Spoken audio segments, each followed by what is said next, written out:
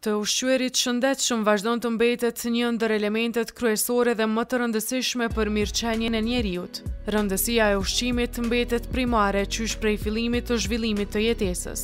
Nisur nga kjo pikëpamje, kujdesi për një fëmijëri të shëndoshë fillet i ka që nga ditët e para të shtatzanisë. Zhvillimi i fetusit varet kryesisht nga kujdesi që nëna bën gjatë nëntë muajve të shtatzanisë, e ushqimi që ajo merr, Ndikon si në zhvillimin fizik dhe në atë mental. Ka shumë elemente të cilat duhet t'i plotësojë një nënë për të rritur shëndetshëm foshnjën e saj. Por, për gjërat kryesore dhe më të rëndësishmet, na flet nutricionistja Dafina Demolli. Ushqimi pra është shumë i rëndësishëm gjatë shtatzanisë, po edhe para planifikimit për shtatzani është rëndësishme që m'i konsumu lëndët ushqyese që është e nevojshme, siç është acidi folik. Acidi folik është një vitaminë e cila është rëndësishme apo i ndihmon për parandalimin e defekteve të tubit nervor. Ky acid folik, pra kjo substancë merret prej ushqimeve, si për shembull fasule, drithëra, thjerrëza të ndryshme, ku përveç kësaj duhet me marr gjithmonë edhe me rekomandim të mjekut, si suplement ushqyes, domethonë shtesë për me arrit sasinë e rekomanduar ditore. Ajo na tregon se gjatë kësaj periudhe aq sa ka rëndësi vlera e ushqimit, po aq me rëndësi janë edhe pijet që duhet konsumuar gjatë shtatzanisë. Gratë shtatzana nuk duhet kurrë me konsumu sa për dy persona, domethonë që është ajo fjala e famshme konsumo sa për dy, për shkak se foshnja gjatë fillimit të saj është gjatë javëve të para, ose gjatë katër javëve të para,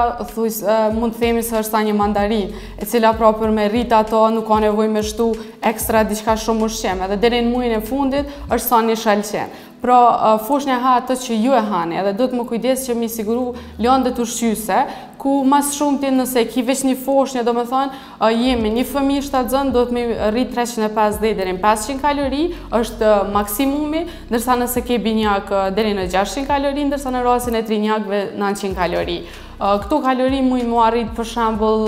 me një gotë qumësht, gjysmë senviçi, pra në rastet e një foshnjes, i arrin ato kalori ditore që i ka nevojë. Në rastet që donë me i rrit për shembull te binjakët, ose te trenjakët, është i shton me fruta të thata, me fara të ndryshme, avokado, arra, lajthi, cilat domethonë e kanë një sasi shumë ma të madhe të kalorive që ato mujnë me marrë prej ushqimeve. Jo me shku t'i shtu ushqimet që janë për shembull fast food, ëmbëlsira e tjera, edhe pse kanë kalori shumë të madhe, për shkak se mujnë me paraqit ma vonë uh, defekte të lindjes të fetusit, uh, gjatë lindjes për shembull ose mund me pas me një peshë shumë ma të madhe, mund me paraqit diabet gestacional te nana, e cila pastaj munet me pas uh, defekte edhe probleme shumë ma vonë. Për një shtatzani të mbarë dhe të shëndetshme, çdo nënë duhet të ketë kujdes që të mos ekspozohet në situata të cilat ndikojnë negativisht si tek ajo, po ashtu edhe në rritjen e fetusit.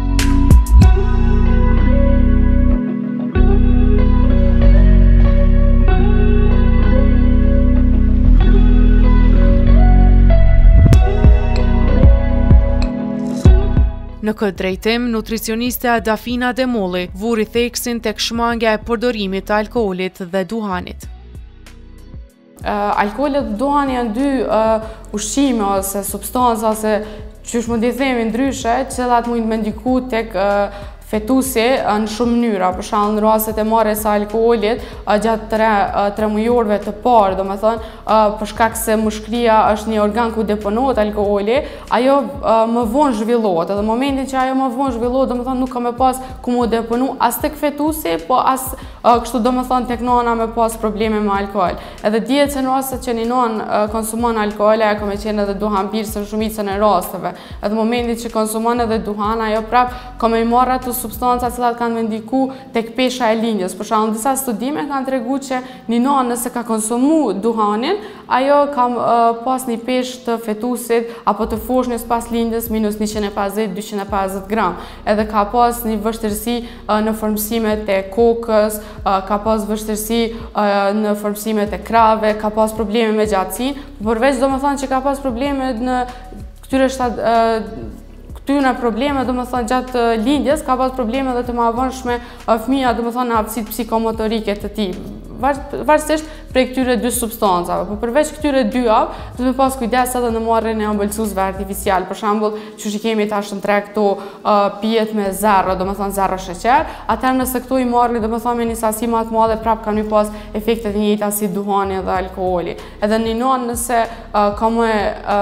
ka me qëndru me një ambient që pihet duhani, ka me arrit gati ato problemet sikur një nonë që ka qenë duhanpirëse, sepse nëse e, e thith atë dioksidin e azotit nona shtatzone, prapë ka mi pas qato efekte domethënë tek pesha e fëmijës pasi që të lindë. Një ndër dilemat kryesore tek periudha 9 mujore për secilën grua shtatzënë mbetet masa e ushqimit që gratë duhet të marrin. Për sasinë e të ushqyerit dhe vlerat ushqyese, na tregon detajisht nutricionistja Dafina Demolli.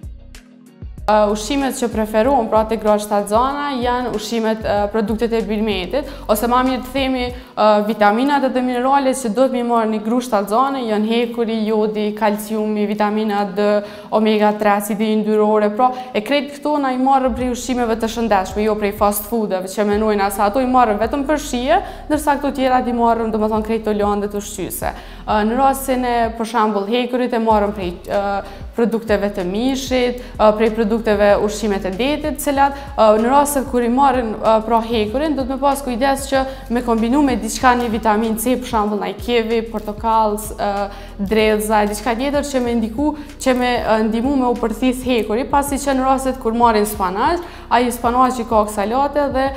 vitamina C ndikon që me ndimu ata me u përthith në organizëm edhe me marrë gratë shtatzana domethonë sasinë e rekomanduar ditore. Frutat dhe perimet edhe drithërat po ashtu, përveç karbohidrateve që përmbojnë, pra i kanë fibrat, të cilat të fibra i ndihmojnë për me largu konstipacionin, për shkak se gratë shtatzana kanë probleme konstipacionit dhe mënyra qysh muj me largu janë tu marrë një dietë me ushqime që kanë sa ma shumë fibra për shembull dredhëzat, manaferat, frutat e tjera për shembull brokoli peri, prej perimeve cilat domethonë kanë me ndiku që me largu konstipacionin është e rëndësishme që gratë shtatzana me marrë edhe pra produktet e